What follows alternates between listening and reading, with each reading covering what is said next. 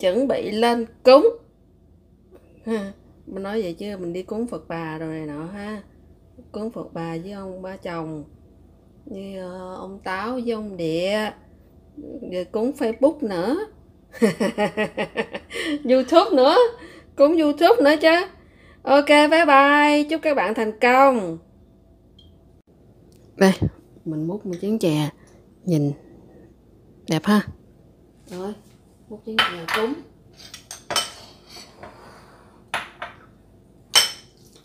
nè thấy không múc lên nè. Thấy ngon lành không? Chứ không có phải như múc cháo đâu.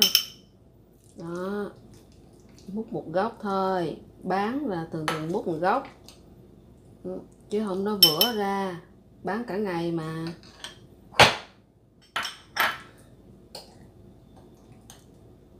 Nói múc một cái mình múc mình mình mình cũng chơi mình múc hai, ba góc.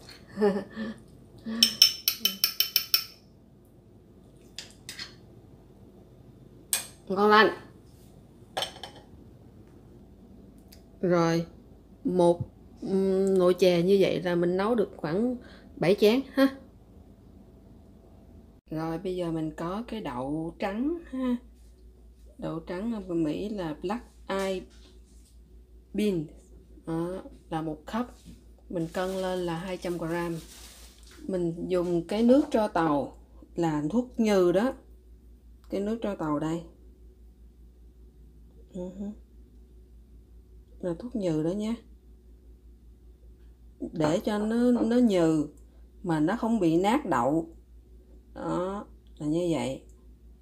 Ở Việt Nam thì là, là cũng là thuốc nhừ như người ta kêu miếu diêm á là một nửa muỗng cà phê. Ừ. Rồi. Món này là món chè đậu trắng nước cốt dừa của mẹ mình. Hồi đó bán ở ờ, ở đầu đường ờ, Lê Hồng Phong với lại ờ, 3 tháng 2 đối diện ờ, ờ, Rạp Hòa Bình á. Dì soi ơi dì soi hồi đó như ca sĩ Lam Trường hay gọi vậy đó. Ca sĩ tại vì bán trước cửa nhà ca sĩ Lam Trường. Rồi ca chỉ gì Sôi tái xuất giang hồ gì Sôi tái xuất giang hồ. Ừ. rồi cái đậu này là mẹ ngâm phải không? Ừ, ngâm. Ừ. ngâm ngâm cho- đun cho nó sôi ngâm cho nó nở ra phải không? Nở ra mấy tiếng À. đồng hồ á. là 200 gram phải không? 200 gram ừ, ngâm nở ra bắt đầu mới đun cho sôi hả đun cho sôi ờ, một lúc rồi hãy đổ muối diêm vô. Bỏ xong rồi ờ, đậy nắp lại cho nó nguội thì nó đỏ cái cái hột đậu ra mới lại nó chóc cái mày á. Việt chóc cái mày đen ờ, cái mày đen nó cái cái cái mày ở đen đen á. Ừ, ừ, đậy ok nắp lại để nguội hay đãi. Ok. Thì nó cái hột đậu nó đỏ chứ nó không có trắng như vậy nó cho tàu hồi nãy là đỏ. mình mình ngâm mình rửa sạch sẽ lắm mà giờ nó ra cái màu đen đen ha chắc cái, cái tại cái mày đen nó ra đó ừ. đun nó phải ra vậy chứ Ừ. Tại vì ở Việt Nam á, là không có cái đậu ờ, thường thường không có bán đậu ờ, hầm sẵn ha. Thành thử ra mình làm hai hai hai hai công thức nha. Một cái là đậu hầm sẵn. Còn một cái thì là mình mình hầm ở đây. Đó. Bây giờ cái mình hầm sẵn thì mình mua hai lon 15 ao một lon. Đây. Đây là cho những người tiện dụng mua hầm sẵn nha Rất là ngon Đó, 15 ao 15 ao là bao nhiêu một hộp một cái hộp này bao nhiêu bao nhiêu 439 gram nhưng mà đổ nước đi đổ nước và rửa sạch sẽ. Quay quay bạn bạn bạn bạn quay quay quay mình có cái độ thưa mình đãi cũng được. Đãi mấy cái mày mấy cái vỏ rồi đi hả? Ừ. thưa rồi. Mua này tiện dụng quá ha. Rồi hộp nào hộp nấy mà nó mềm rụt nó mà ờ, nó không có nát như mình hầm đâu. Phải không? Đó mình rửa sạch sẽ xong rồi mình cân lên đó là cái này là hầm rồi nhá. Mình mua trong lon đó là 500 gram. Nãy hai lon là hơn 800 gram, gần 900 gram mà. Đổ nước rồi rửa sạch sẽ, còn lại 500 gram. Cái phần nồi chè mà mà mà mình phải tự hầm á. Đó, nửa nửa muỗng cà phê, nước cho tàu. Đó, đang sôi để lửa nhỏ nhỏ nhỏ đổ vô. Vậy thôi. Đậy nắp không mà Chút rồi nó trào ra hả ổ tre để mình lắc lắc lắc lắc chứ Ừ. còn không ở bên Có này ừ. hộp bên này mình đãi cũng không có được đâu ừ. nè ở Việt Đãi cho nó mất cái hộp. thì nó Ừ. mất cái cái cái mày cái mày này nè Ừ. thì đậu nó ngon lắm ừ. nhưng mà đãi sơ sơ nó ra được thì ra không ra thôi chứ cũng đâu có bắt buộc phải ra hết đỏ đỏ lên người ta hầm sẵn hơi đỏ đỏ ha còn của mình là nó hơi trắng trắng. Chưa đâu. Một hồi lát nữa đậy nắp lại thì nó mới sẽ đỏ giống vậy hả? Ừ. cái này chưa biết. Không biết nước cho tàu thì có đỏ không hay gì? Muối diêm thì đỏ hả? Ừ, mới diêm đỏ. Ừ. mới có khoảng chưa tới 10 phút nữa hả? Ừ. ừ mà nó đã mềm rồi. mau mềm lắm Ừ. tại bỏ bỏ cái thuốc nhừ đó vô đó là là nó nó mềm cái là mình tắt bếp mình đậy cái này lại để cho nó cái nó chóc cái mấy cái mè đen này. Đó, chóc mấy cái mè đen. Ừ. giờ mình mua một gói ờ, lá dứa đông lạnh. Đó mình chia thành hai bó. Một cái cho nước dừa một cái cho ờ, chè ha bây giờ cho cái nồi chè, nguyên liệu cho nồi chè. Muối thì mình có một phần tư muối ha. Muỗng muỗng cà phê muối. Đường thì mình có nửa cup thì mình cân lên là 130 gram. Rồi à, đậu. Đậu thì mình hầm xong xuôi. Cái này là mua sẵn, hai lon mua sẵn. Mình cân ra là 500 gram đó nha. Còn nếp là một cup. Xong mình ngâm. Mình ngâm cái này là cái cách của bà ngoại ờ, mấy đứa nhỏ bé như nó làm Ừm, bà ngoại làm thành là ngâm trước nó nở ra nè một cup một cup nếp nó ngâm ra cái nó nở đầy vậy nè đó, đó. rồi ờ, mấy cọng lá dứa À, cái nếp mà lúc mà mình chưa ngâm, mình chưa đãi á, là 200 gram ha, là một cup là 200 gram. Đó. Bây giờ mình ngâm đãi thì nó vung lên như vậy. Đó.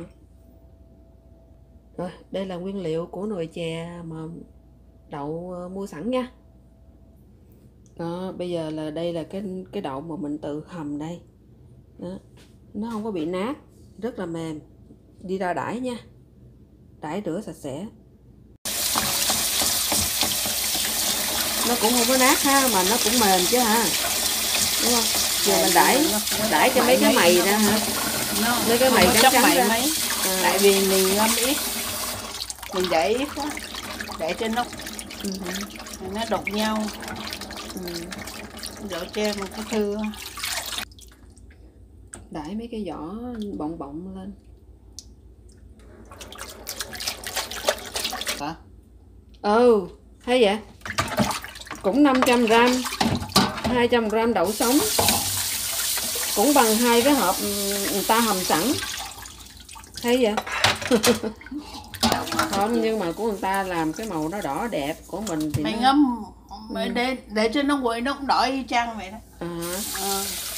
ở Việt Nam còn đỏ hơn. Mấy mấy mấy à đậy nắp cho nó nguội đậu rồi rồi, nó mới lên màu. Nó mới đại đậu nó mới lên màu. Nó không lên màu mà nó chóc hết cái mày ờ chóc hết cái mày luôn.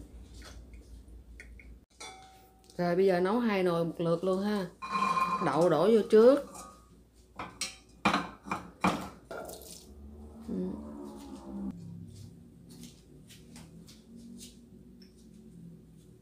Rồi mình đến phiên lá dứa nếp Ừ. rồi đến phiên đường rồi bên đây nữa ừ. muối bên đó đó, đậu để trước nha. Lúc nào cũng phải để đậu dưới trước. Để nếp dưới này nó sẽ dính nó dính đáy. À, nó dính đáy thì nó nó khét. Giống như chè bắp cũng vậy bắp mình để bắp trước rồi nếp ở trên. Ừ. trước tiên là mình có nửa cấp ha. Tại vì hồi đó ờ, bà ngoại bé như ờ, bán là tầng nhắm chừng không à giờ mình trước tiên mình có nửa cấp nước trước rồi đã. Rồi. Thêm chút nữa. Thêm chút nữa. Nha này đi. Ờ, nửa cấp hả? Ừ. Ừ, chưa chưa chưa chưa. Thêm nửa cấp hả? Ừ đủ rồi đó. Ừ. vậy là là một là ờ, hai cấp rưỡi hai cấp rưỡi nước á. Hồi nãy là nước là à, 500 với nửa cup là 125 gram là coi như là 625 gram mà ml chứ quên. Rồi đó nửa cup với lại uh, hai là 625 ml rồi cứ thấy là bỏ vô nấu thôi. Mở bếp lên. Rồi không đậy nắp nha tại vì ờ, mình không canh chừng được. Cái đó là muối hả? Đâu có. Thôi. tí đường nè. Hồi nãy tí đường sót lại á hả? Ừ, không có đậy nắp. Tại vì đậy nắp nó sắp sôi lẹ lắm mà, mà mình không canh chừng được. Ờ, hồi đó là mẹ mình ờ, bán toàn là nhắm chừng không à. Nhưng mà kinh nghiệm hai chục năm 17 năm ha kinh nghiệm 17 năm thành tử ra 30 năm. 30 đâu tính tới bây giờ tính tới bây giờ là mẹ bán 17 năm xong bây giờ qua Mỹ này là 25 năm rồi là 42 năm về trước lận. Đó. Cảm vậy. Bây giờ mới tái xuất giang hồ.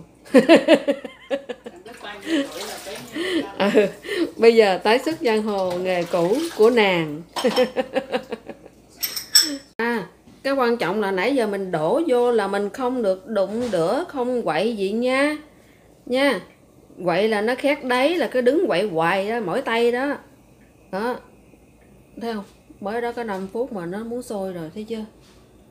Cái lò bên đây nó lớn hơn nên tưởng ra nó sôi trước nè.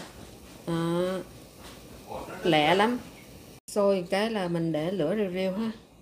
Ừ. để lửa khoảng số 7 chứ.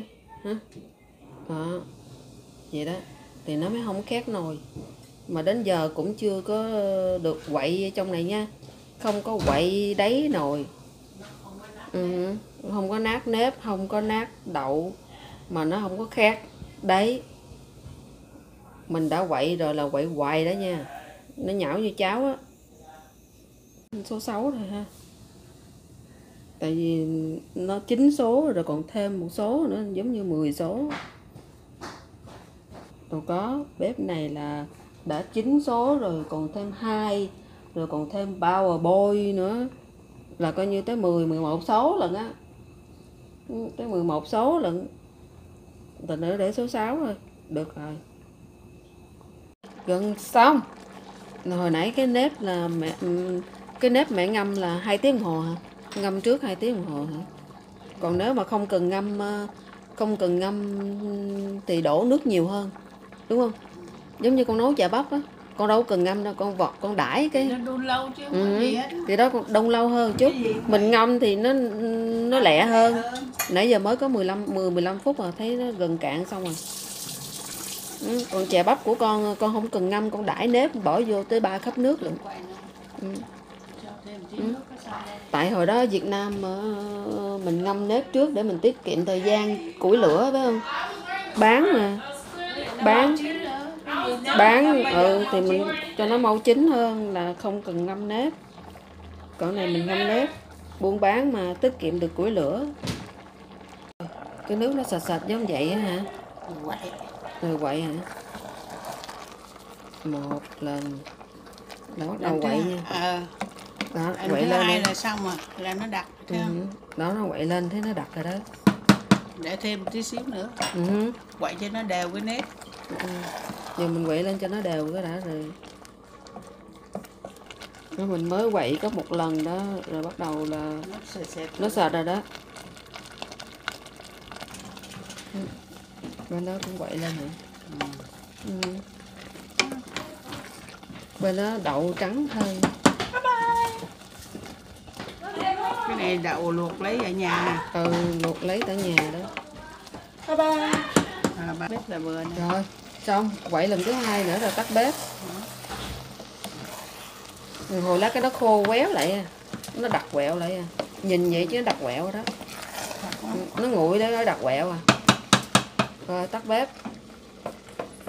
Tắt bếp rồi ha. Ừ. Rồi đổ ở đây phải đổ vô cái ấy liền ha. Tại vì mình mình nấu một nồi nhưng mà mình bán một cái nồi cho nó sạch sẽ đẹp đẽ đó. Thành thử ra bắt buộc là phải bán là phải nấu phải đổ ra. Tại vì mẹ mình nói là ở nhà mình nấu cái nồi dơ giấy không được đẹp than củi rồi này nọ đó. Xong rồi mình đổ ra cái nồi sạch sẽ mình đem đi bán với nó không bị đứt chân. Đứt chân có nghĩa là nó bị vữa ra phải không ạ? Ừ. nó không bị vữa ra phải để ra vậy. Đó. Kinh nghiệm bán đó, bán hàng. Bên đó cũng xong rồi đó tắt bếp. Đó mới nấu xong nè thấy không? Thấy hộp nếp còn yên nguyên không? Là nó còn nhão đây nhá. Lúc này là rõ ràng là thấy nó còn nhão đó một hồi lát là nó nguội là nó nó nó nó đặc như là cơm vậy. Chứ không phải là thành cháo đâu nha hộp nếp thì ra, hộp nếp, đàng hoàng đàng hoàng, thấy chưa? Uhm. rồi xong. Hai khay chè. Ngon lành ha. Đó, thấy nếp không? Còn viên nếp luôn đó. Còn còn hộp nếp luôn. Một hồi lát nó nguội lại là là là dít bán này nha, dít bán. Ừ. ừ nhìn thấy ngon lành ha, cái này là cái đậu mình tự hầm đây. Uhm. còn đậu này mua đây. Đỏ đẹp quá ha. Nhưng mà tại vì mình mình làm vội á, mình không chờ cho cái đậu nó lên màu. Nấu xong cái hộp nếp nào hộp nếp nó rõ bồn một à. Nó không có nát như cháo. Mà ăn nó mềm. Uhm bởi vậy ờ, mẹ mình bán ở ngay góc đường Lê Hồng Phong với ờ, uh, 3 tháng 2 đó. Mấy người mà có cái trường mẫu giáo bên đó, đó người ta hay đặt để ờ, đầy tháng cho con của người ta đó. Người ta hay đặt trà này nè.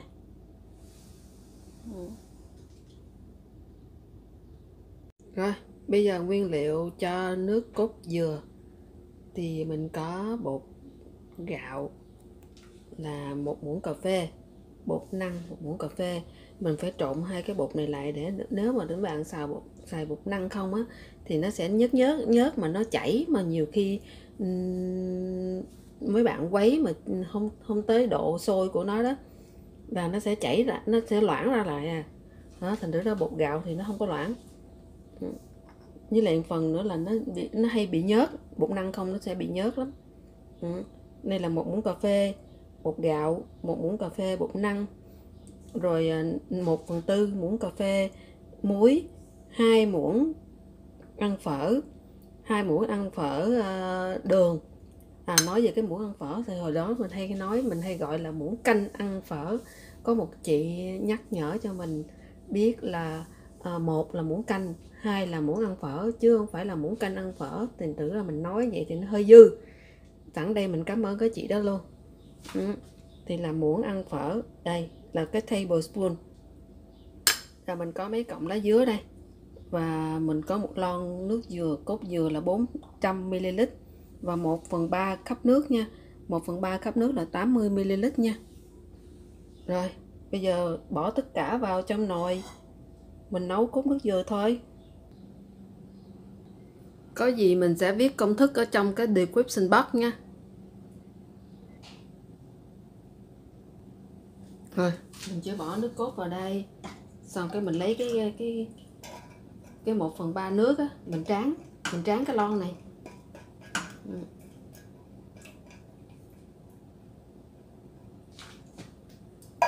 Ừ. Bỏ vô đây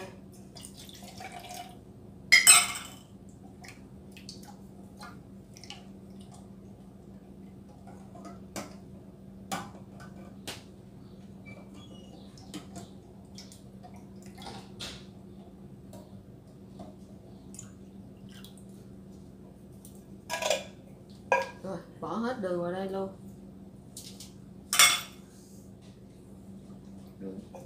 Rồi bỏ muối vào đây. Bỏ bột vào đây.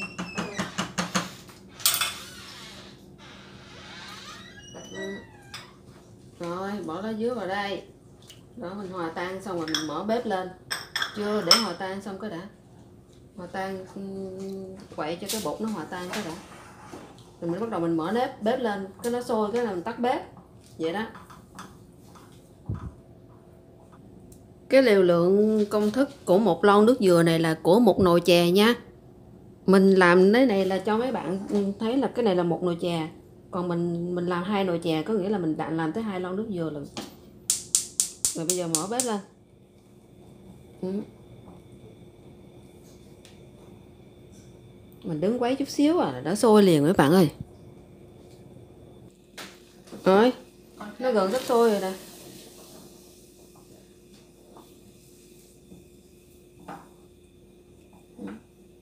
Gần sắp sôi, cái đợi nó sôi chút xíu là mình tắt đi, tắt bếp liền. Rồi, nó sủi sủi sủi sủi, nó muốn sôi rồi nè, thấy chưa? Rồi, chuẩn bị tắt bếp. Ừ. nó đừng để nó sôi lâu quá sôi lâu quá nó thành dầu nó không ngon nó không béo nó không thơm nữa. Đó rồi mình tắt bếp rồi nè. Đó, nó đổ sệt sệt sệt chừng một hồi lát nó nguội là nó nó sệt lắm. Rồi chỉ có việc đổ vào đây thôi. Mình phải đổ vào đây giống như mình đi bán ờ, bán bán bán bán, bán chè vậy đó thì ờ, nó mới không bị đứt chân, nó không bị vữa cái nước dừa của mình ra.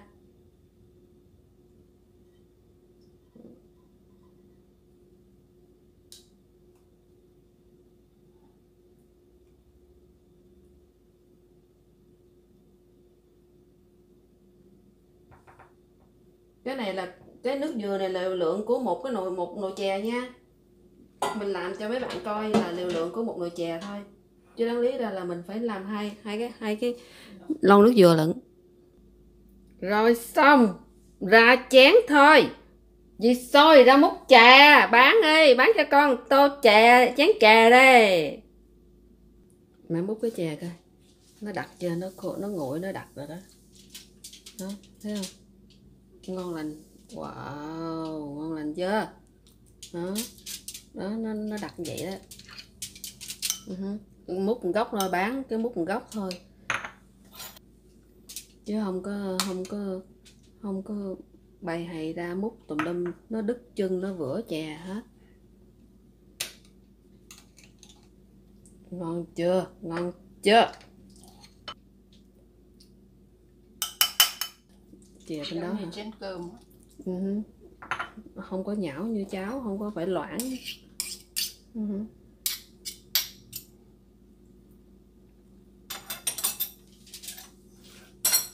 Đâu coi chân dung gì soi?